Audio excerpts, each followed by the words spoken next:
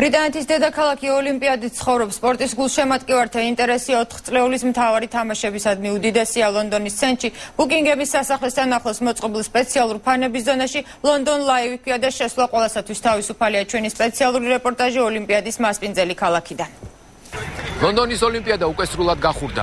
აქ თამაშებისადმი ინტერესი იმდენად დიდია, რომ ყველა ბილეთს ვერ შეულობს უშუალოდ შეჯიბრებზე მოსახვედრად. მათთვის ვინც ბილეთი ვერ შეიძინა, ეს ადგილი არსებობს. ბილეთოდ დარჩენილი გულშემატკივრებისთვის ლონდონის ცენტრში უზარმაზარი ფანზონაა მოწყობილი ბუკინგჰემის სასახლესთან ახლოს ჰაიდ პარკში შემოღობილ ტერიტორიაზე შესვლა უფასოა და ოლიმპიადის ყველა სპორტული ღონისძიების ყურება დიდ ეკრანზეა შესაძლებელი.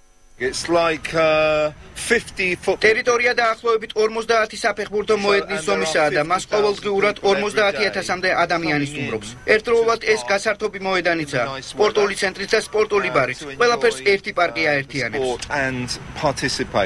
ტერიტორიაზე გიგანტური ეკრანების გარდა გართობის უამრავი საშუალებაა ლონდონელები და ჩამოსული სტუმრები აქ ოჯახებით მოდიან და მთელ დღეს ატარებენ.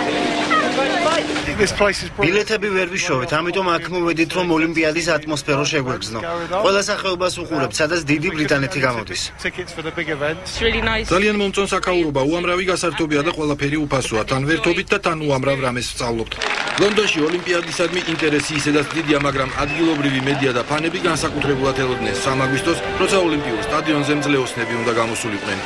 დღეს ოლიმპიადაზე განსაკუთრებული დღეა, საქმეში მძლეოსნები ჩაერთნენ.